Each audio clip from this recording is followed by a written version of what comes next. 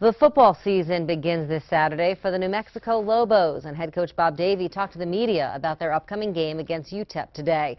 KOAT Action 7 Sports Director Orlando Sanchez is here with more on the season opener. It was arguably the most exciting game of the year for the Lobos, a shootout that came down to the wire in overtime, and New Mexico leaving with its first victory in the state of Texas since 1997. Despite a combined 77 points between UNM and UTEP, it was the Lobos defense that came up with the game-winning play, stopping the Miners on fourth down by just inches.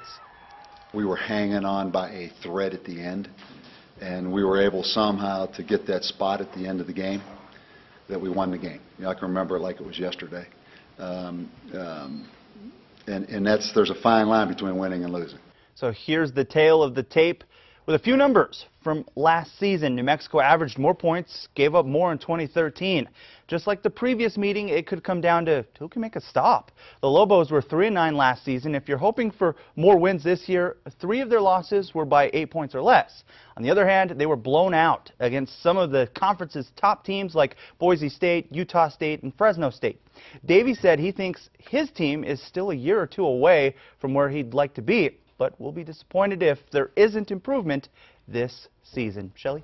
Saturday's game kicks off at 6 o'clock at University Stadium. It can be seen online on the Mountain West Network.